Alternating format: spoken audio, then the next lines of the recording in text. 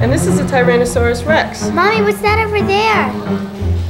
Oh, that's what's called a butcher. They've been extinct for many, many years. They used to work at grocery stores cutting fresh meat for people.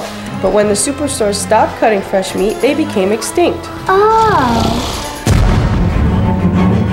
Buy fresh cut meat at Bob's Wyndham IGA and Help, save, the butchers! Help save the butchers!